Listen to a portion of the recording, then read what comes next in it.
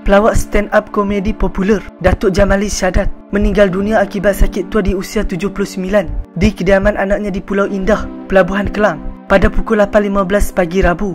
Sebelum kita lanjutkan dengan berita sedih ini, marilah sama-sama kita sedekahkan Al-Fatihah.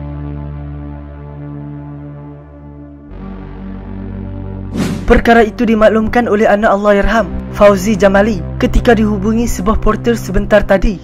Menurut Fauzi, dia menyedari pemergian bapanya selepas isterinya, Siti Zabidah Su'ud, mahu mengejutkan bapanya untuk makan sarapan.